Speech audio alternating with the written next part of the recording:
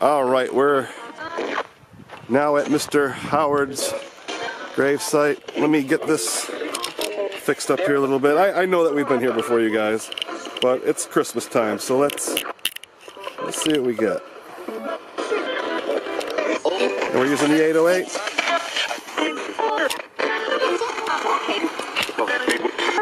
Mr. Charles Howard, Mr. Santa Claus of Albion, New York. Is Mr. Charles Howard here? Can he come forward and talk to me?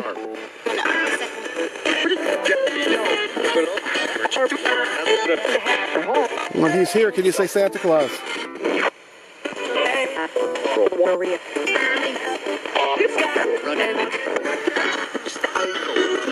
Oh, I heard some bells and I heard a Santa. And I, I, I realize that it's Christmas time and like everybody's playing freaking Christmas music. But if it seems relevant, it probably is. and it was right after the question. So, we're going to read this off. Before he became Santa, Charles Howard was a farmer on the west side of Albion. He was an active member of the community and pillar of the United Methodist Church. He loved participating in Orleans County's fairs, helped the community set many world records, including building a model of Niagara Falls with 10,000 gallons of sweet cider in 1928, baking an apple pie that was 12 feet wide in 1929, and making it and making a 14 foot tall cake that weighed over three and a half tons. Three and a half tons of cake. Who ate that?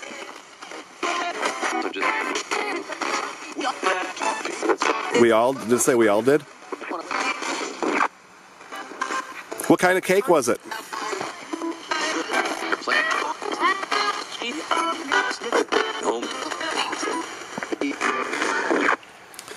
Uh, Charles Howard first played Santa in a school play in fourth grade. His mother, who worked at the Vergelbogue Home for Dependent Children, most likely helped foster his love of children. This and his jolly attitude made him well suited for the role. By age 11, Charles proved to be extremely creative and began making toys for other kids. He continued his passion for toy making during World War I, opening a business and supporting the purchase of war bonds and toy sales using the sales slogan, Buy Liberty Bonds and Howard's Toys and make the Kaiser stop his nose.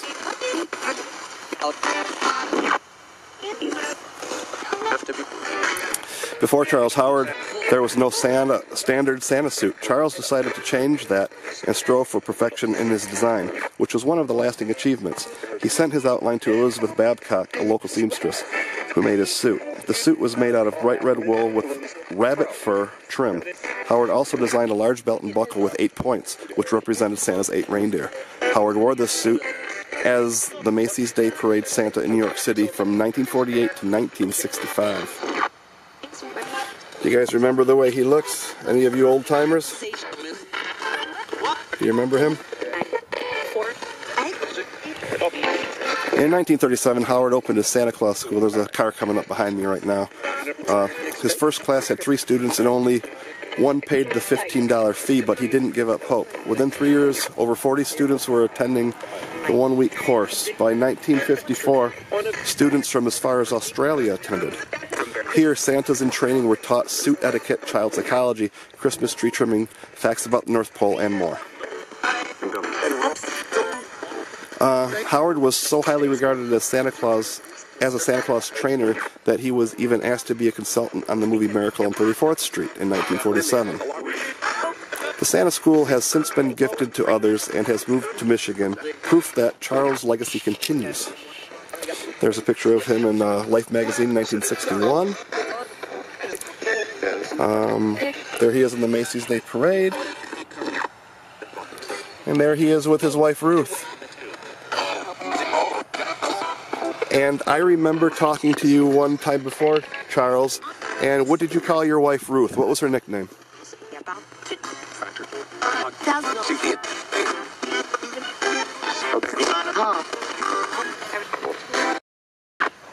It was Ruthie, right?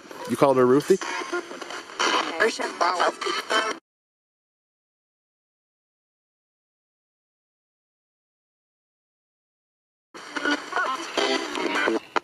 In in 53, Charles Howard expanded his Santa Claus school by adding Christmas parks. It included attractions such as a miniature train ride, Santa's stable and sleigh, Santa's wishing well, and his toy shop. The park was a destination for families not only in western New York but all over the world. And its peak, at its peak, Christmas Park attracted over 80,000 people a year, fulfilling Howard's dream of bringing Christmas joy to as many people as possible. He errs who thinks Santa enters through the chimney. He enters through the heart. Charles W. Howard. So it's a little slippery up here.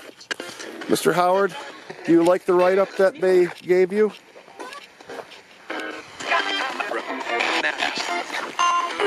Is it a nice tribute?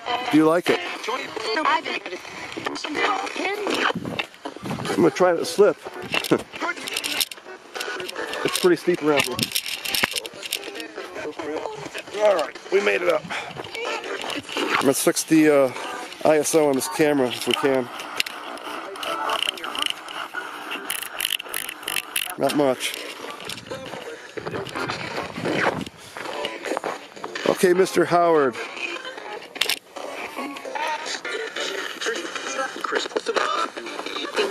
Santa Claus.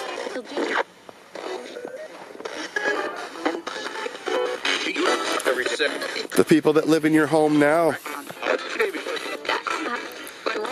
Are you okay with the people that live in your home now?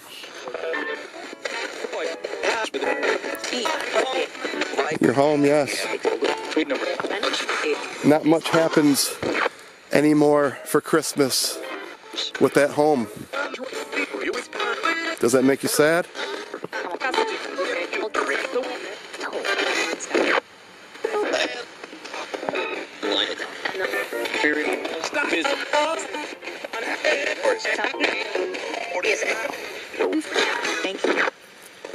The town is trying to keep your name alive. We honor you during the festivals. We have a statue that is trying to be built to put up in the middle of a gazebo in town.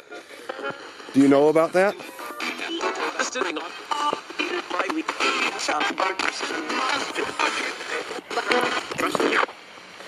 There is also a mural that has been painted. It's a probably an eight by an eight by six mural that was hand painted by a resident here in town. Have you seen that, sir?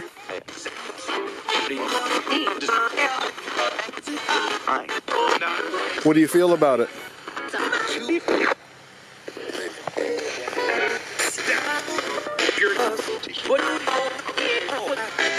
So I just wanted to come here and pay respect to you. I want to say Merry Christmas to you and to your wife Ruth. If you would give her my best.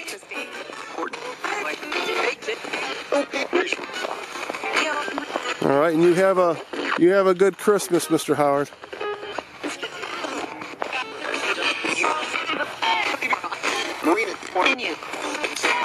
Goodbye, Santa Claus.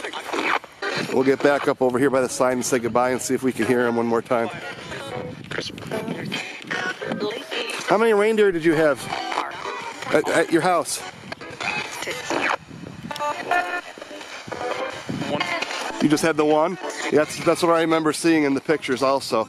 You had the one around there by the by the wishing well where the kids would come and they could pet the reindeer. Is that correct?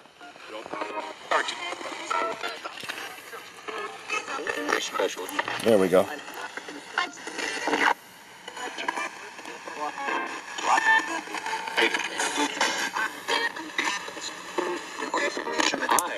Okay, Mr. Howard, I am leaving now.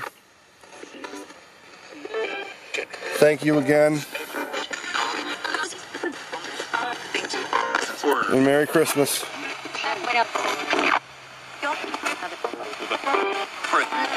Goodbye.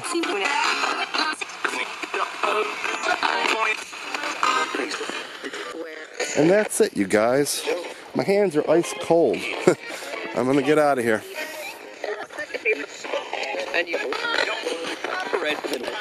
Lewis Jasper, you guys following?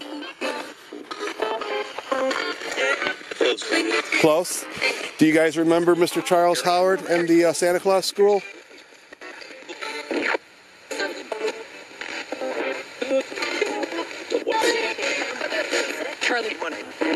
Charlie, do you remember him? He was your time period.